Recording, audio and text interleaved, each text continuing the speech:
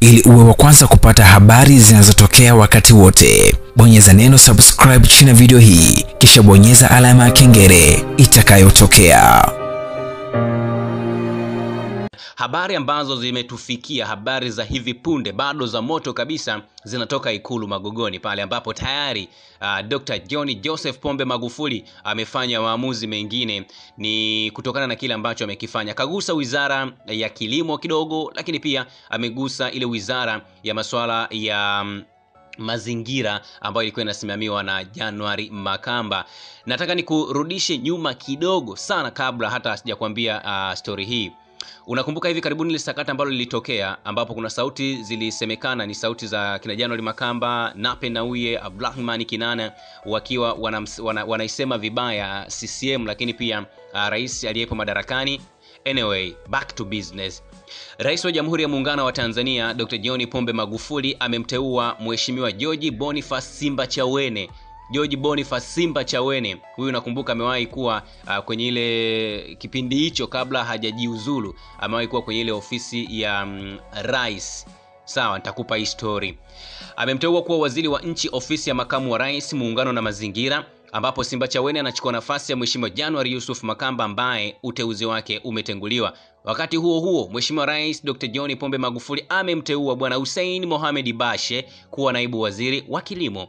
Mheshimiwa Bashe anachukua nafasi ya Mheshimiwa Innocent Lugha Bashungwa ambaye aliteuliwa kuwa waziri wa viwanda na biashara. Katika hatua nyingine, Mheshimiwa Rais Magufuli amemteua Balozi Dr.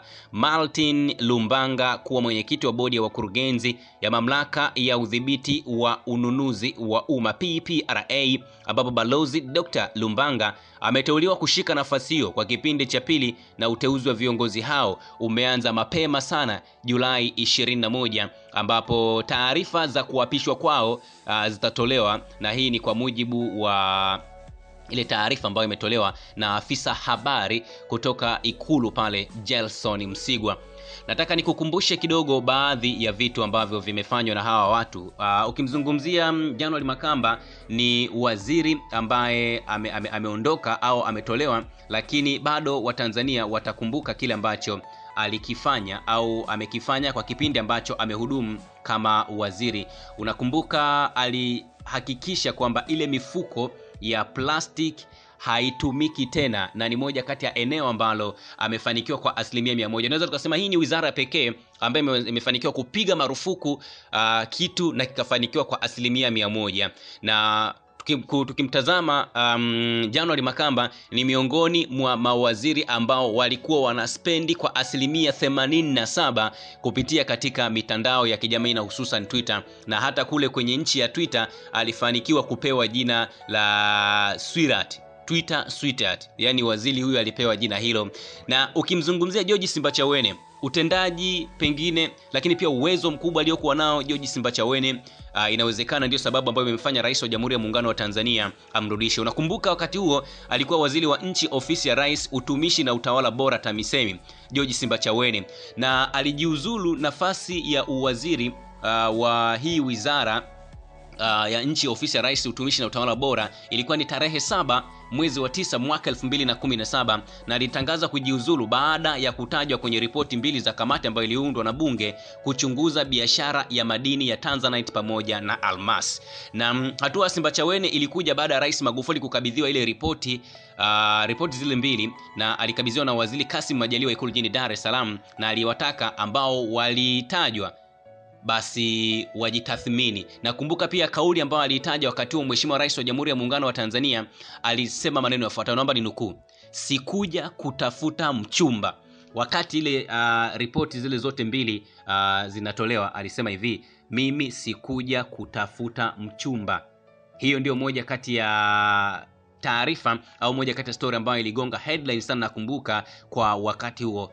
Speaking about Hussein Bashe ni moja kati ya viongozi uh, mashuhuri au wabunge mashuhuri ambao naweza nikasema huwa hapepesi macho wala mdomo wake huwa haukai mbali sana pindi linapotokea tatizo lolote lile, liwe ndani ya chama au nje ya chama. Hussein Bashe ambaye alizaliwa tarehe 26 Agosti mwaka 1975 ni mwanachama wa chama cha mapinduzi ccm lakini pia ni mbunge wa jimbo la nzega uh, kupitia tangu mwaka 2015 kupitia chama cha mapinduzi ccm ni miongoni mwa wabunge wachache sana ambao naweza nikasema ni wapambanaji sana. Na kwenye hii wizara ya kilimo ambapo tunawajua sasa hivi inaongozwa na, na moja kati ya, ya viongozi ambao naye ana, ana weredi mkubwa tu kwenye hiyo wizara ya, ya, ya, ya, ya kilimo.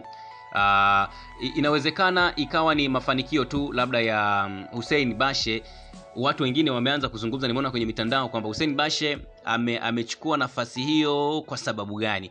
Amechukua nafasi hiyo kwa sababu ya um, ule uh, kutokuwa na, na, na ukimya pindi linapotokea tatizo lolote au amechukua nafasi hiyo kwa sababu gani? E, hii ni moja kati ya eneo ambalo watu wengi sana ana, wana, na tunaona akienda kutana pale na Jafet yasunga pengine wanaweza wakafanya kitu kikubwa sana. Na wanaweza wakafanya kitu kikubwa kwa sababu wanaweza kawa wamekutana watu ambao wana maamuzi. Unajua wanasema unapofanya maamuzi na umefanya maamuzi kwa wakati sahihi na mtu sahihi uliyofanya maamuzi inaweza isiwe shida sana nilikuwa napitapita pia kwenye mitandao ya kijamii nione watu walivyoweza kucomment Uh, hongera sana Bashe, najua ulikuwa mbunge, sasa wewe ni serikali. Ulivyokuwa unashauri, tunaomba ukafanye sasa. Kwa kiasi tunategemea kilimo kikuu zaidi. Okay, saluti Mheshimiwa President, hutaki unafiki. Mzee wa kutoshaurika kishafanya yake. Leo Bashe, piga kazi mnyamwezi wangu. Januari karibu kijiweni unywe kahawa. Hongera kwa kuhakikisha mifuko ya plastiki inabaki historia. Nimeamini zile leaked audio ni real. Rais kawahurumia sana, vinginevyo kesi ya uhaini ingewahusu. Mimi sio CCM, lakini January Makamba ni kiongozi hodari sana na atakuwa rais mzuri sana miaka ya baadaye akishika kijiti. Sijawahi kuona nini cha kumkosoa katika viongozi vijana. He is an inborn leader. Uh, lakini anajua kufafanua maamuzi, kufanya maamuzi haraka kwa faida ya taifa la Tanzania na Watanzania kwa ujumla lakini nasema da hili uh, lilikuwa haliepukiki. Maskini twitter sweetheart kama ambavyo nilikwambia. Mimi nafurahi ametoka kule naona alikuwa anaishi kwa shida labda kama alikuwa anatuongopea right? Yani bro hata wewe ungekuwa rais hakuna namna ungedili na sweetheart tofauti na hii. Labda uwe na kifua sana. Ni hadi ishirini ishirini tutaona mengi sana. Hapa kazi tu. Hongera yao walioteuliwa kushika nyadhifa na walioenguliwa. Elekezeni nguvu zenu majimboni kwenu kuwahudumia wananchi pole uh, sikio halizidi kichwa kibajaji anakashaulika au shule hii ni moja kati ya maeneo ambayo uh, yanatajwa ya ya yanatajwa sana kwamba pengine huenda yale mazungumzo ambayo yalikuwepo yali, yali, yali, ndio ambayo yamepelekea mm, uh, hawa watu ku, kuondolewa na wengine ku, kuchukuliwa uh, na mwisho wa siku maisha yaendelee sawa eh? hii ni moja kati ya taarifa ambayo uh, ni, inaweza ikawa ni nzito sana kwa hii weekend lakini inaweza isiwe nzito sana kwa sababu katika serikali ya awamu ya tano tumeona uh, wengi sana wameshateuliwa wengine wametenguliwa kwa hiyo ni mwendelezo tu eh?